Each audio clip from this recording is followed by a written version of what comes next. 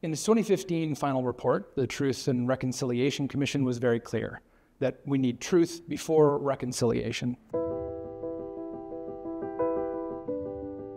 It's important to confront residential school denialism head on because it is a strategy to try and undermine public confidence in the truth part to close off avenues to healing, justice, and reconciliation. Residential school denialism is not the denial of the residential school system's existence, but is rather an effort to distort, twist, and misrepresent basic facts about residential schools to undermine truth and reconciliation efforts. So there are a number of different residential school denialist talking points. We've heard many of them before. Uh, residential schools were well intentioned, they were of the times. There are no deaths or deaths were unavoidable. Uh, examples of abuse are exaggerated.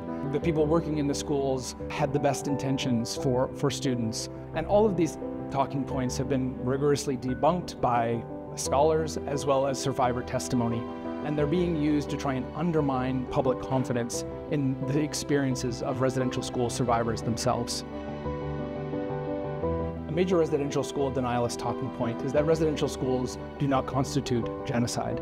One of the things that the Truth and Reconciliation Commission uh, did in its final report was clearly explain how residential schooling meets the UN definitions of genocide, uh, specifically cultural genocide, in its attack on group life of Indigenous people by removing children from families, by uh, undermining Indigenous lifeways, attacks on culture and language, an understanding of how residential schools fit the UN definition of genocide helps people understand the uncomfortable truths uh, that flow from that.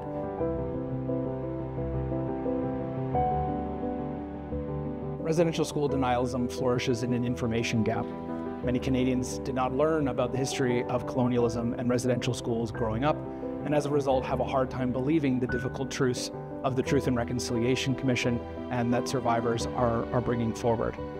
But the answer actually is more education. As Truth and Reconciliation Commissioner Murray Sinclair always says, education is what got us into this mess, but education is what is needed to get us out.